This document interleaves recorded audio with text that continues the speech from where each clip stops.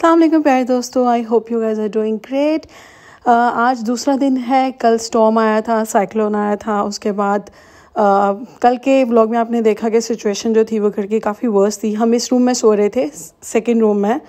और इधर भी बहुत ज़्यादा पानी आया था। तो अब मेरे हाथ में जो जो कपड़ा आया उसको मैंने इधर डाल दिया था। पिलो कवर्स हो गए उनको मैंने इधर सारी रेलिंग के अंदर और ये विंडो के जो स्पेस होती है, दो विंडोज़ के दरमियान वहाँ डाल दिया था ताकि ये पानी अपने अंदर ले ले। और मुझे काफ़ी ज़्यादा आए कि आप प्लास्टिक यूज़ कर लेती हैं, आप ये यूज़ कर लेती तो पहली बार लाइफ में ये सिचुएशन थी तो मेरे घर में ऐसा कोई भी चीज़ नहीं था जिसको मैं यूज़ कर सकती हूँ। और जिस टाइम पे ये सब कुछ हो रहा था ना ट्रस्ट मी दिमाग काम नहीं करता। आप नहीं सोच सकते ट्रिक्स और टिप्स कि ये कर लेते हैं, वो कर लेते हैं। बस बस पानी रोकना था। तो खैर, उस कमरे में हम लोग सोए ज़मीन पर गद्दे वगैरह डालकर और ये बेडरूम है। बेडरूम के ये सारे आप पैनल्स दे सकते हैं। दे आर वेरी वेट तो इसको अभी दो से तीन दिन लगेंगे सूखने में ड्राई होने में।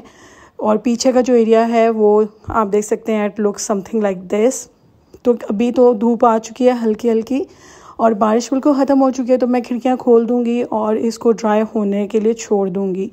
और ये भी, इधर भी पानी है जितना मैं निकाल सकती थी। हाथ से रात को मैंने निकाल दिया था, लेकिन रात को भी चांसेस है कि बारिश दोबारा आ सकती है। तो सब चीज़ें मैंने वैसे रहने दी थी कि अगर रात को कुछ हुआ तो एटलीस्ट थोड़ी बहुत बचत हो जाएगी, लेकिन रात को बारिश नहीं हुई। अब ये सारे बड़े बड़े कम्फर्टर के जो कवर्स हैं टू वे कवर्स हैं बेडशीट्स हैं, ये चार से पाँच, बल्कि छः तो इधर ही मैंने डाली मैं ये सारी अभी मैं वॉशिंग मशीन में डालूँगी, जो थोड़ी बहुत थी वो मैंने सुबह उठते ही डाल दी थी ताकि ये सारी वॉश हो जाए। दो ये बेड के नीचे डाल दी थी ताकि लकड़ी तक पानी ना पहुँच जाए। लेकिन फिर भी गीला हुआ है काफ़ी ज़्यादा और इसको टाइम लगेगा, दो से तीन दिन लगेंगे ड्राई होने में। तो बस अभी दिन का स्टार्ट करते हैं। इसके अलावा मेरे बेडरूम में जहाँ पर एसी लगा होता है इंस्टॉल हुआ होता है, वहाँ से भी पानी बहुत ज़्यादा नीचे आ रहा था कि जब हमने एक दफ़ा देखा तो वहाँ से एसी के पीछे जहाँ पे पाइप होता है, वहाँ से पानी निकल के आ रहा था तो मेरा ड्रेसिंग टेबल भी काफ़ी ज़्यादा डैमेज हुआ है, सारी चीज़ों में पानी गया है और काफ़ी ज़्यादा बैड सीन रहा है। तो ये मैंने इधर भी एक बेडशीट रखी हुई थी कि इसके अंदर सारा पानी जाए, क्योंकि यहाँ पर बहुत ज़्यादा नहीं आ रहा था ड्रॉप्स में आ रहा था, लेकिन कॉन्टीन्यूसली आ रहा था। तो ये सारी जगह इसको क्लीन करना है। कारपेट तो बहुत ही गंदा हो चुका है, इतना गीला हो चुका है कि मैं बता नहीं सकती, क्योंकि मैंने कारपेट उठाया नहीं था। कि अब जो पानी चला गया चला गया अच्छा है, इसको बिछा रहने देते हैं ताकि मैक्सिमम पानी कारपेट अपने अंदर ले ले। जो हमारे लिविंग का एसी है, वो ख़राब हो चुका है, कल ये ट्रिप कर गया था और उसके बाद ये दोबारा चला ही नहीं। तो बारिश से ये हुआ है कि बेडरूम का एसी लिविंग का एसी दोनों ट्रिप हो गए हैं, दोनों नहीं चल रहे। और, पानी के साथ दोनों कमरों में पानी गया है, लेकिन यह कि सिचुएशन लिविंग रूम में ऐसे पानी वगैरह तो नहीं आया, लेकिन ये था कि सीन बहुत बैड था क्योंकि यही कमरा था जहाँ पे सारा सामान निकाल के रख रहे थे और बड़ा मिस यूज़ हुआ है। खैर, जो सुबह मैंने मशीन में कपड़े बेडशीट्स डाली थी, उनको मैंने ड्राई होने के लिए डाल दिया है। अब दूसरा मैंने इसमें ऐड कर दिया है जी बैच उसको डालते हैं। उसको पहले मैं सादे पानी से इन सारी बेडशीट्स को वॉश करूँगी और सोख रहने दूँगी क्योंकि इनके अंदर बहुत पानी है। दे स्मेल सो बैड तो बस मैं इनको दो बार रिंस करूँगी पानी के साथ और फिर डिटर्जेंट के साथ मैं इनको वॉश करूँगी और सोख रहने दूँगी for about two to three hours ताकि अच्छे से इनमें से सारा जो भी स्मेल बहुत ज़्यादा आ रही है तो वो सब निकल जाए और फिर इसको थर्डली वॉश कर लूँगी मैं। बस जी, यही मैंने मशीन में डाल दिया, ये काम करते हैं कंप्लीट अभी मुझे खाना बनाना है, झटपट से वो बनाती हूँ क्योंकि रात से हम लोगों ने सिर्फ़ एक मील खाया और अभी बहुत भूख लगी है तो एक अच्छा सा मील बनाते हैं और खाने का खाने से पहले पेट पूजा करते हैं और फिर बाकी काम करते हैं।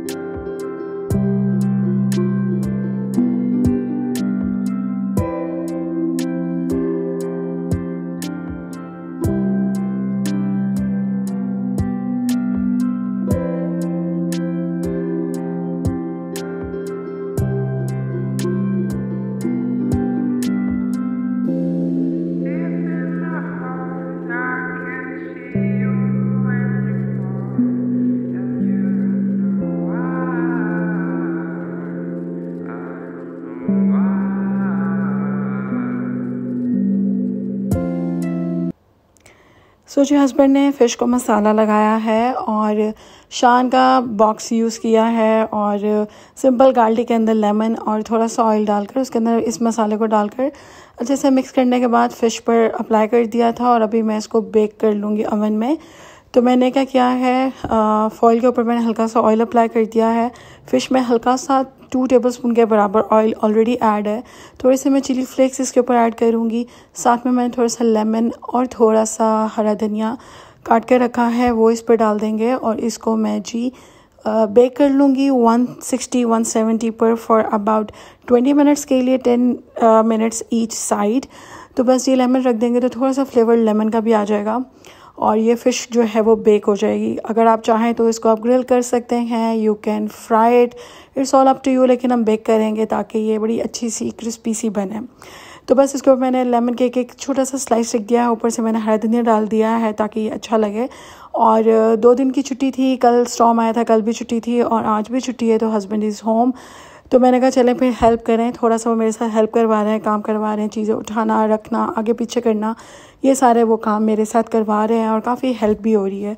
तो फ़िश जो है उसको बेक होने के लिए रख दिया है, चावलों को आ गया है दम, मटर पुलाव बनाया है मैंने सिंपल सा और साथ में फ़िश बनाई है। आई डोंट ईट फ़िश तो मैं खाली सिंपल ये जो पुलाव है, वो सलाद के साथ खाऊँगी, रायते के साथ खिला, खाऊँगी और हस्बैंड इसके साथ फ़िश खाएँगे। तो ये हमारा आज का लंच है। साथ में मैंने एक अच्छा सा, मज़ेदार सा सैलड रेडी किया है। सो जी, ये रहा सैलड और इसके अंदर ढेर सारे आपको लेमन दिख रहे होंगे। वो हस्बैंड खाएँगे फ़िश के साथ। उनको बहुत पसंद है ऊपर से लेमन डाल डाल के खाना। तो ये ढेर सारे जो लेमन कटे हुए हैं उनके लिए और रिमेनिंग जो सैलड उसमें कैप्सिकम है गाजर है, प्याज है थोड़ा सा सैलड लीव है और अनियन है दैट सेट और साथ में लेमन है. No black pepper no salt nothing at all simple सा प्लेन सा सैलड है ये. तो बस ये खाना रेडी हो गया. खाना खाएँगे उसके बाद मेरे काफ़ी ज़्यादा जो कपड़े हैं, वो गीले हो गए थे क्योंकि ये सारे वो वाले कपड़े हैं जो कि मुझे शादी में मिले थे और फैंसी कपड़े जो होते हैं फॉर्मल ये सारे वो हैं जो कि मैंने सिर्फ़ एक एक बार पहने हुए हैं उसके बाद कभी भी नहीं पहने। तो ये जिन बैग्स में रखे हुए थे, वो सारे गीले हो गए थे क्योंकि पानी रात से जा रहा था बैठ के नीचे।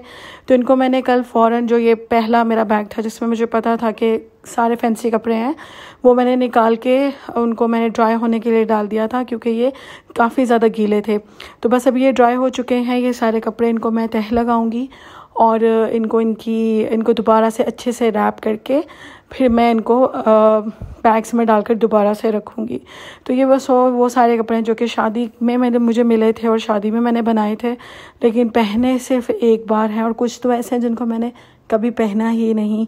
लेकिन आपकी अपनी शादी के कपड़ों के साथ एक अटैचमेंट होती है।